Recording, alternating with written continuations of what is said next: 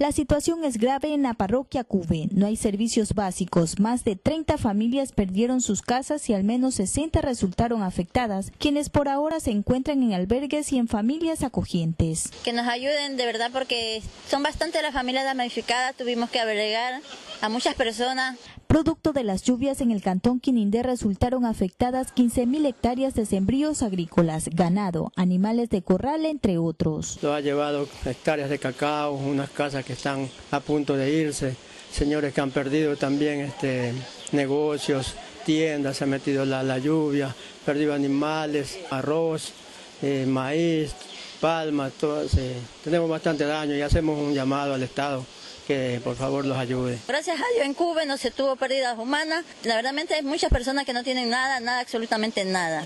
Brigadas del Ministerio de Salud atienden a las personas afectadas por la inundación. La primera respuesta del gobierno fue la entrega de 430 kits humanitarios de alimentos, ropa y 300 galones de agua. Estamos haciendo las entregas a todos los damnificados.